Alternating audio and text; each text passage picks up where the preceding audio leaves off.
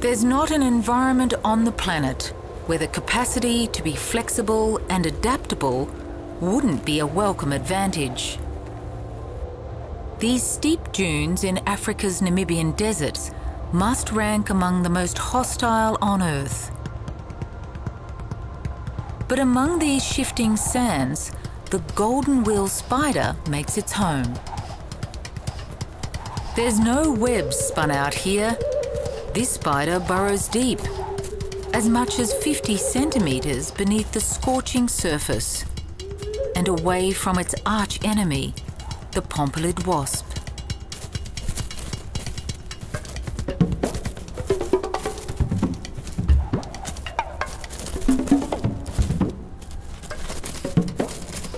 But sand makes for a fragile fortress. And if the wasp were to catch the spider, it will swiftly become a paralyzed incubating chamber for its many offspring.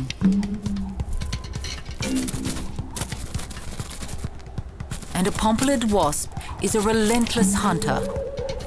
Should the spider's burrow collapse, it will be unnervingly exposed.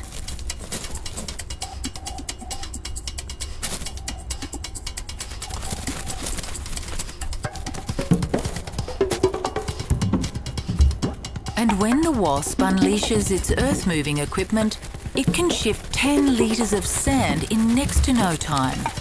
That's 80,000 times its body weight. Against such an enemy, an escape is surely impossible. The spider can't outrun the wasp, but if the dune is steep enough, he can outroll it. They can roll at a rate of 44 revolutions a second. If they were the size of a car tyre, they'd be going 350 kilometres per hour. The golden wheel spider is the only animal known to outroll its enemies. And it's a trick which clearly serves its purpose.